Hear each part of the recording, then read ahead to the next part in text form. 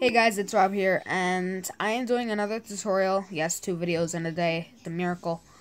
Uh, I just really like these tutorials, and I I have a lot of experience with a lot of things for the what uh, computer uh, for the computer.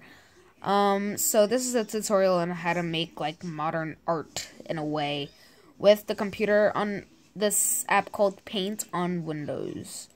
So you gotta go to the top right corner, go down to the search bar, and then put in PA, and then paint will come up. Click paint, and then you'll get this. So basically, what I learned how to do this is just put boxes just everywhere. Put boxes everywhere. A couple boxes you may not be okay with, so just hit Control Z, and then it'll get rid of it. So you got that. I'm just doing this randomly. But uh, after you finish with your boxes, once you got the amount that you want, uh, you have to go to the top left-ish, and then you click this bucket. And then you pick a color of your choice, and then you just spread the color around.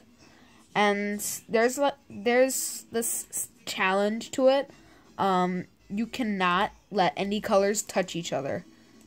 Uh, I did this in school and it's actually really fun.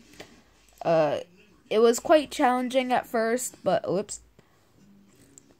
But it looks really cool afterwards. So um, I'm just gonna bring up one that I did earlier, and I'll be with you guys in a second. Alright, so this is one of the ones that I did earlier. Um, it looks pretty cool. I just put boxes everywhere, and then I mixed up all the colors and then I put black outline so that it just looks like colors. I posted this on my Instagram. Uh, my Instagram is the same name as my YouTube channel.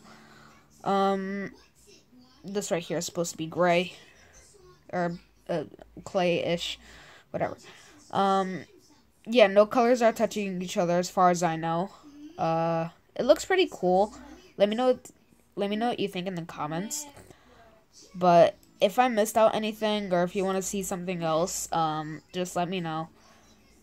Uh, yeah, that's pretty much it.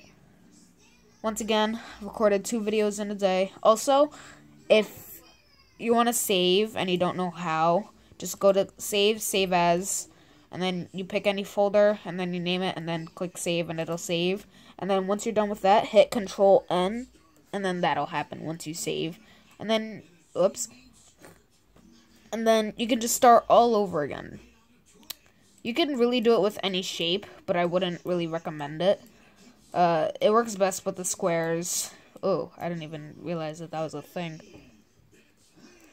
Can I control Z in this? Nope. Okay.